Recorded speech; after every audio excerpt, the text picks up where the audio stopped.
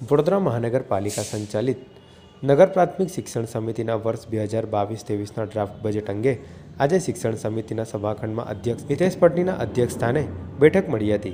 જેમાં શિક્ષણ સમિતિના સભ્યો તેમજ શાસનાધિકારી ધર્મેન્દ્રસિંહ ચુડાસમા હાજર રહ્યા હતા.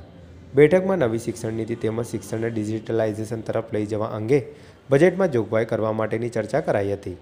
જે બજેટને ચર્ચાના અંતે મંજૂરી આપી સામાન્ય સભામાં મંજૂરી અર્થે મોકલવામાં આવશે, જેની વધુ વિગત નગર પ્રાથમિક શિક્ષણ સમિતિના અધ્યક્ષ હિતેશ પટનીએ આપી હતી.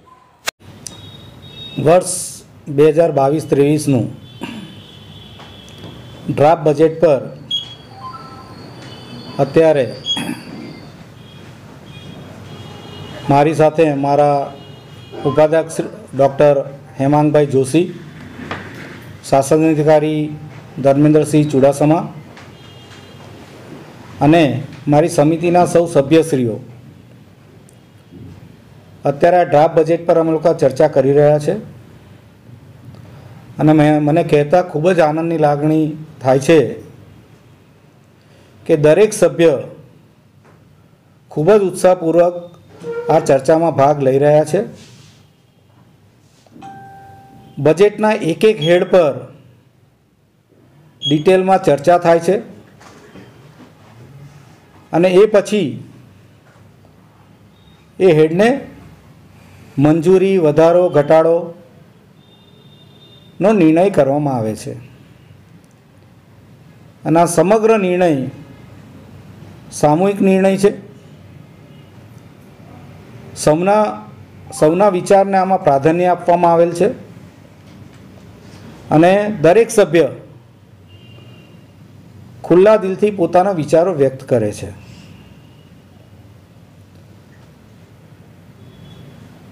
તમને કહેતા મને આનંદ થાય છે કે આ વખતના બજેટમાં અમારું સંપૂર્ણ ધ્યાન શિક્ષણના ડિજિટાઇઝેશન પર ડિજિટાઇઝેશનમાં પણ જે આધુનિક ટેકનોલોજી ઉપલબ્ધ છે, એ અમારા સમિતિના બાળકોને ઉપલબ્ધ થાય. એ માટે અમારું ફોકસ રહેવાનું છે. આદરણીય વડાપ્રધાન નરેન્દ્રભાઈ મોદીએ new education policy twenty twenty જે રજૂ કરેલ છે, તેને અનુસંધાનમાં શાળાઓમાં જે કંઈ નવા ઇન્ફ્રાસ્ટ્રક્ચરની જરૂર પડવાની છે, તેને ધ્યાનમાં રાખતા આ બજેટમાં અમે જોગવાઈ કરવા જઈ રહ્યા છીએ. બાળકોનું શિક્ષણનું સ્તર સુધરે બાળકોને ગુણવત્તાયુક્ત શિક્ષણ મળે અને ફક્ત એકેડેમિક નહીં, પરંતુ બાળકોનો સર્વાંગી વિકાસ થાય. એ બાબતની ખૂબ જ ગહન ચર્ચા અમે લોકો કરી રહ્યા છે. અને ચર્ચાના અંતે એની પણ જોગવાઈ અમે આ બજેટમાં કરવા જઈ રહ્યા છે.